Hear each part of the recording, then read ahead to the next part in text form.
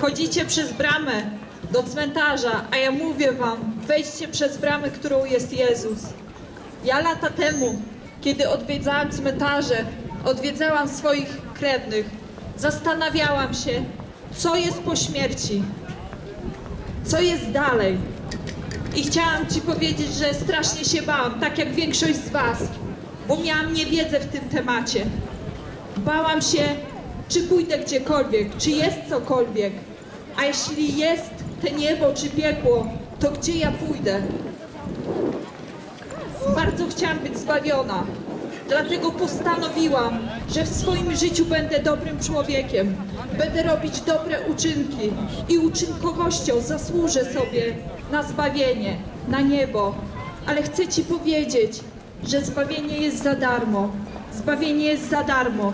Nie z tych uczynków, za darmo. Żebyś nie mógł sobie tak zasłużyć jako człowiek. Bo Jezus już zasłużył na Twoje zbawienie. Jedynie co wystarczy zrobić, to w to uwierzyć. Ja cztery lata temu uwierzyłam, że Jezus Chrystus prawdziwie dwa tysiące lat temu chodził po tej ziemi i On na krzyżu Golgoty zapłacił karę i winę za moje grzeszne życie. Każdy człowiek potrzebuje Boga. Ty też potrzebujesz pojednać się z Jezusem. Żyjemy w tradycji, ale tradycja nas nie uratuje. Uratuje Cię jedynie wiara w dzieło Jezusa Chrystusa. Jezus Chrystus 2000 lat temu, umierając na krzyżu Golgoty, załatwił Ci zbawienie. Ty jako człowiek nie potrafiłbyś sobie zasłużyć niczymkolwiek na zbawienie, bo musiałbyś być bez żadnego grzechu. A kiedy spojrzysz w swoje serce, to doskonale wiesz, że nie jesteś aż taki święty. Nie jesteś czysty w stu procentach. Potrzebujesz Jezusa, potrzebujesz Boga, potrzebujesz do Niego zawołać, potrzebujesz narodzić się na nowo. Człowiek, kiedy rodzi się na tej ziemi, jest martwy duchowo. Każdy jest martwy duchowo i musi narodzić się na nowo. Musisz narodzić się na nowo i zostać ożywiony przez Ducha Świętego. Ja cztery lata temu zawołałam do Jezusa, bo tak naprawdę nie wiedziałam, czy On jest, czy Go nie ma.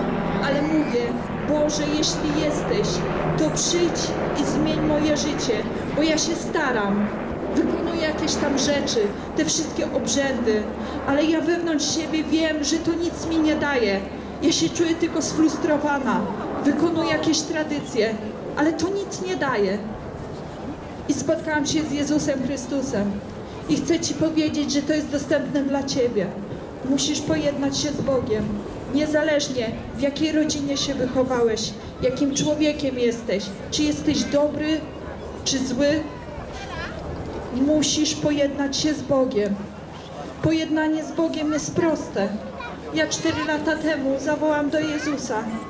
Ja spokutowałam, ja przeprosiłam Boga za to, że tak naprawdę Go nie znam i oddałam stery swojego życia. Ja powiedziałam, Jezus, Ty jesteś moim Panem i Zbawicielem. Od dziś Ty bądź moim Panem i Zbawicielem. Jeszcze dziś pojednaj się z Jezusem. W ten dzień pomyśl, nie bądź w niewiedzy. Niebo jest dla ciebie otwarte, ale musisz uwierzyć. Musisz uwierzyć w to, co zrobił dla ciebie Jezus dwa tysiące lat temu na krzyżu Golgoty.